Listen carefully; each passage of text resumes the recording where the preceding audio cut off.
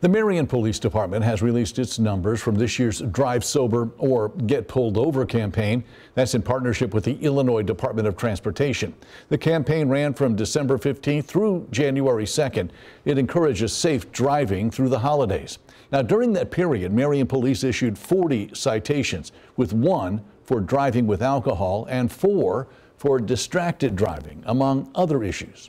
Marion Police Chief David Fitts said, we need to drive this message home. Impaired driving, distracted driving, speeding, and failure to wear seatbelts are seriously risky business. It's illegal and it endangers the driver, their passengers, and everyone else on the road.